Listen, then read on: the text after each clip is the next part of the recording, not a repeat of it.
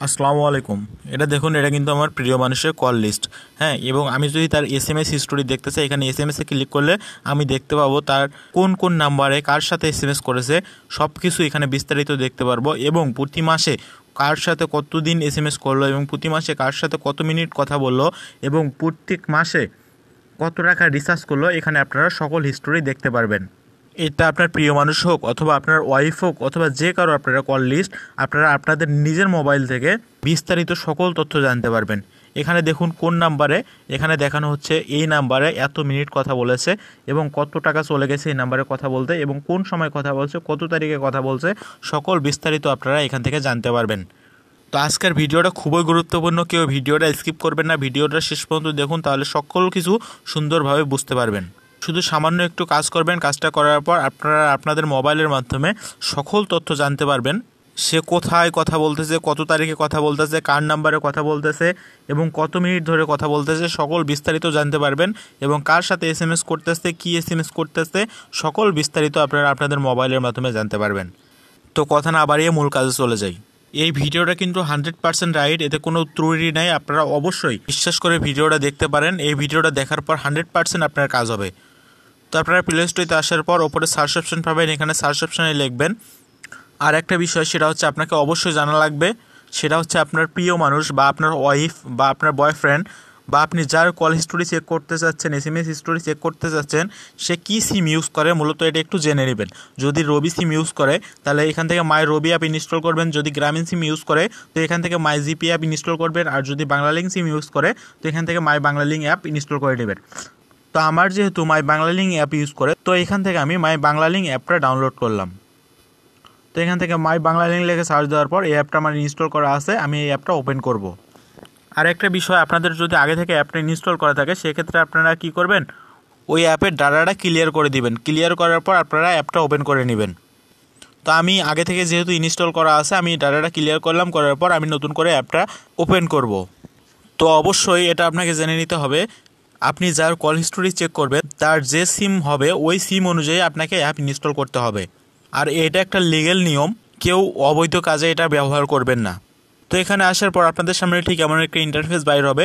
আপনারা যে কোনো অ্যাপ ব্যবহার করেন না কেন, তারপর আপনারা এখানে বাংলালিং ইউজারে ক্লিক করে দিবেন। যদি বাংলালিং হয়, আর মাই জিপি হলে তো মাই জিপি তো এখানে আসার পর আপনাদের মাই রবি বা মাই জিপিতে যদি আসেন, তারপর এখানে আপনাদের থেকে মোবাইল নাম্বার চাবে তো মোবাইল নাম্বারটা আপনারা আপনাদের যে মোবাইল নাম্বারটা দিয়ে চেক করবেন, এক কথায় আপনি যার চেক করতে চাচ্ছেন, ওনার মোবাইল নাম্বারটা, আপনার প্রিয় মানুষের মোবাইল নাম্বারটা এখানে দিবেন।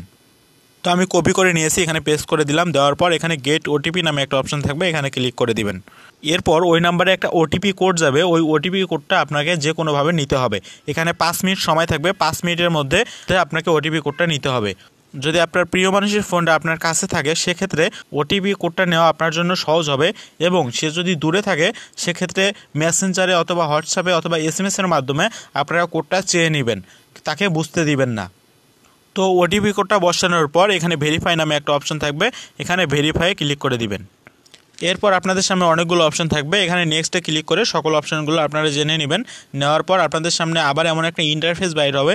এখানে আপনার ওই নাম্বারে কত টাকা আছে এবং কত মিনিট আছে সকল তথ্য আপনারা এখানে দেখতে পারবেন। তো আমরা যেহেতু কল হিস্টোরি দেখব এস এম এস হিস্টোরি দেখব, কার সাথে কথা বলছে এটা দেখব, সেক্ষেত্রে আপনারা একটু নিচে সোয়াইপ করে চলে আসবেন। আসার পর এখানে আপনারা অনেকগুলো অপশন পাবেন। এখান থেকে দেখতে পাচ্ছেন ইউজ হিস্টোরি নামে একটা অপশন আছে। আপনারা যদি অন্য কোনো সিমের ইউজার হয়, সেক্ষেত্রে আপনাদের এখানে হিস্ট্রি নামে একটা অপশন থাকবে। আপনারা যদি হিস্ট্রি খুঁজে না পান, সকল অ্যাপের মধ্যে সার্চ অপশন পাবেন এখানে উপরে। এই সার্চ অপশানে ক্লিক করে আপনারা হিস্ট্রিটা খুঁজে নিতে পারবেন। তো এখানে ইউজ হিস্টোরিতে ক্লিক করলাম, করার পর আপনাদের সামনে আবার এমন একটা ইন্টারফেস বাইর হবে। এখানে দেখানো হবে ওই নাম্বারে লাস্ট তিরিশ দিনে কত টাকা খরচ হয়েছে এবং কত টাকা রিচার্জ হয়েছে, কোন কোন কাজে এই টাকাগুলো ব্যয় হয়েছে, সকল তথ্য আপনারা এখান থেকে জানতে পারবেন। তো এখানে দেখানো হচ্ছে লাস্ট তিরিশ দিনে এই নাম্বার থেকে দশটা এস চলে গেছে এবং দশটা এসে এখানে খরচ হয়েছে ছয় টাকা সাত পয়সা। এবং এই লাস্ট ত্রিশ দিনে এখান থেকে প্রায় দুইশো বাইশ মিনিট ব্যয় হয়েছে, এতে ব্যয় হয়েছে ষাট টাকার মতো আনুমানিক। এরপর হচ্ছে এখানে রিচার্জ হয়েছে টোটাল একশো নব্বই টাকা। তো এখন আপনারা দেখবেন যে কীভাবে এই নাম্বার থেকে অন্য নাম্বারে কথা বলেছে এবং কত মিনিট কথা বলেছে, কত তারিখে কথা বলেছে। সেক্ষেত্রে আপনারা এখানে মিনিট লেখাতে ক্লিক করবেন। মিনিট লেখাতে আসার পর এখানে পারমিশন চাপে অ্যালাওয়ে ক্লিক করে পারমিশন দিয়ে দিবেন।